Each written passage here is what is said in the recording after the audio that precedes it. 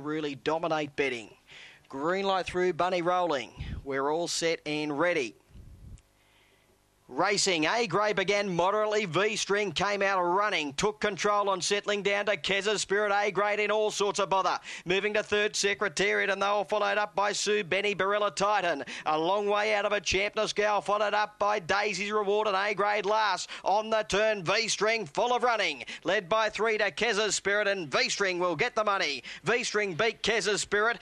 A grade got up and grabbed third ahead of Barilla Titan, Champness Gal, prominent for fourth with Secretariat and then Sue Benny, and it was one of the tail enders. Uh, Daisy's reward might have been back there with those. V string, one red V string first. She came out running from that rails alley. She's uh, she led on settling down. A grade got into trouble. He was put out of play. Uh, he was back near last.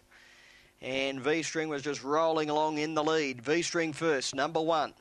Number eight, Kez's Spirit ran a gallant race, finishing second. And A grade's run to grab third was enormous at the end. He really got going when it was all over after striking trouble in the early stages.